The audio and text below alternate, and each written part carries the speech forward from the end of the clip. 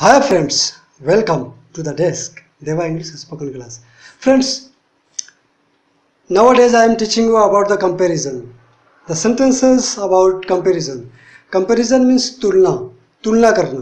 किसी से किसी का तुलना करना, उसको हम कंपैरिजन बोलते हैं। तो इस तरह के हम सेंटेंसेज आपको अभी हम पढ़ा रहे हैं।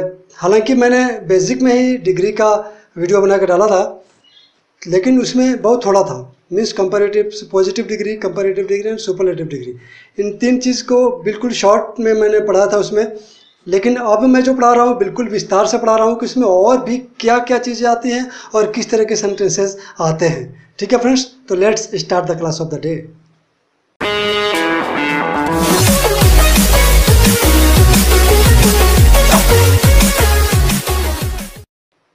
friends Mohan के पास उतनी ही कलमें हैं जितनी राम के पास। मैंने पॉजिटिव डिग्री में आपको पढ़ाया था कि मोहन उतना ही लंबा है जितना राम। तो Mohan is as tall as Ram. लेकिन यहाँ पे थोड़ा सा अलग है कि मोहन के पास उतनी ही कलमें हैं जितनी राम के पास। तो Mohan has as many pens as Ram. ठीक है फ्रेंड्स फिर से।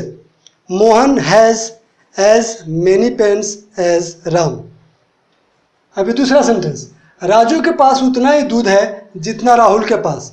अब यहाँ पर सेंटेंस सेम लग रहा है बट फ़र्क क्या है कि यहाँ पर जो चीज़ है, जिस चीज़ की बात की जा रही है, वो अनकाउंटेबल है, और यहाँ पर जो बात की जा रही है, वो काउंटेबल था. इसलिए यहाँ पर हम मैनी नहीं लगाएँगे, बल्कि मच लगाएँगे. फिर बनाएँगे कैसे? राजू के पास उतना ही दूध है जितना राहुल के पास. तो Raju has as much milk as Rahul ठीक है फ्रेंड्स राम उतना ही तेज दौड़ता है जितना सोहन। तो Ram runs as fast as Sohan.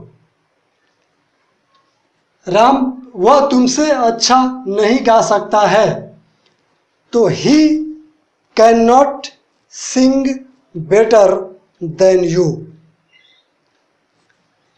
Sita अपनी माँ के समान सुंदर है, यहाँ पर समान है।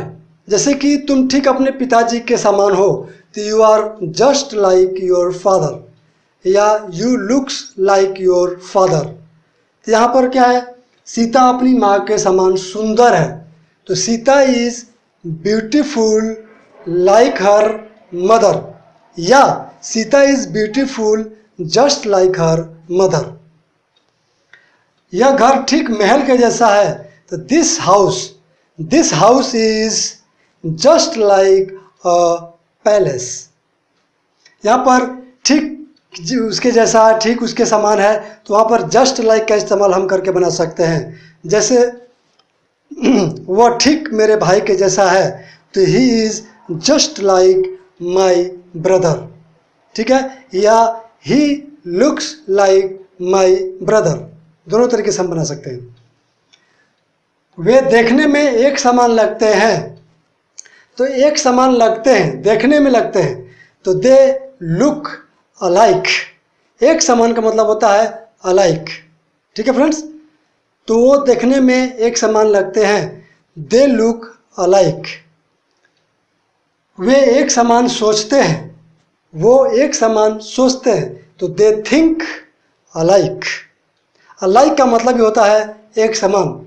जैसे बोलते हैं ना, पाँचों उंगलियाँ बराबर नहीं होती। The five fingers are not alike वे एक समान सोचते हैं।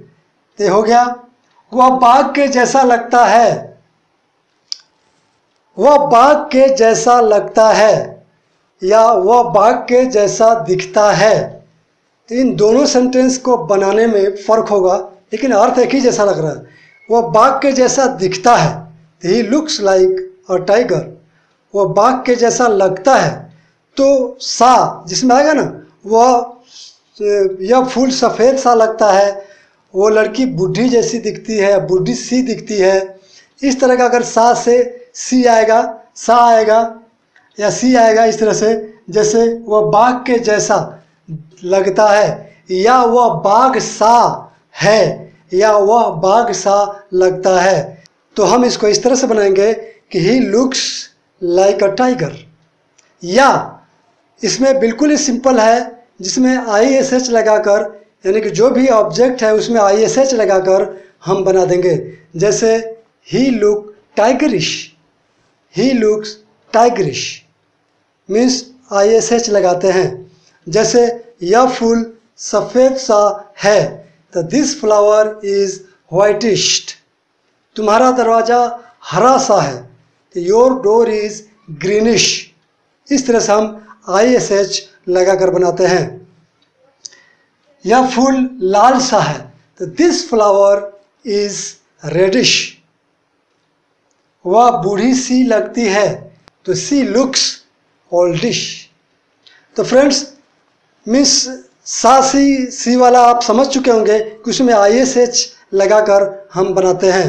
जैसे वो बच्चा सा लगता है तो he looks childish okay friends तो उम्मीद करता हूँ कि आपको अच्छी तरह से समझ में आ गया होगा और अच्छा लगा होगा आज का टॉपिक अगर अच्छा लगा हो तो लाइक ज़रूर कर दीजिएगा और हमारे चैनल को सब्सक्राइब कर लीजिए और बेल आइकन को भी क्लिक कर दीजिए ताकि हमारे हर वीडियो का नोटिफिकेशन आपको मिलता रहे।